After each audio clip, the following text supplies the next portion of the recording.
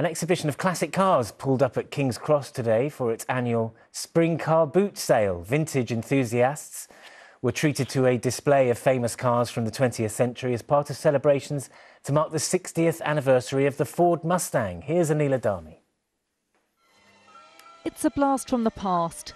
Classic cars and vintage clothes have mounted the cobbles of King's Cross, giving shoppers the chance to pick up pieces and get up close to carefully curated cars cool clothes, like all the cars and stuff, and it's just like really nice atmosphere. Amazing. They've got so much variety here, and especially like the bags and things like that. They're brilliant, and they're all coming back in fashion anyway. It's just that things that go around and around. And what about the cars? Yeah, it, yeah. Some of the uh, for my age of bringing back memories. We come down from Edinburgh specifically to see this. Fantastic, really good. Beatles fans have a chance to see this tour bus that belonged to Sir Paul McCartney as he travelled across nine countries for his 1972 Wings tour.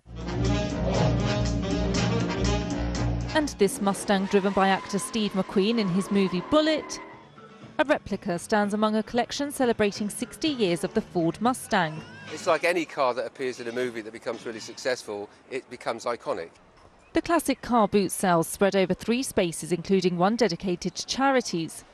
There's food and music, alongside the clothes, accessories, homeware and items with a history. We come from a long line of hoarders, so over the years we keep inheriting houses full of this amazing vintage quality clothes, so we need to find new homes for them. We flew in from California, USA on Wednesday to do this show. Unfortunately, a little bad weather, but it's nice to see everybody turned up. With around 20,000 visitors expected this weekend, organiser Wayne says it grows every year. Got a new generation coming through who, who know about sustainability. Some of these things are just immaculately made and they stand the test of time. It's a brilliantly sustainable, cool movement. People spanning generations are hoping to bag a bargain and get a glimpse of the timeless. Anila Dami, ITV News.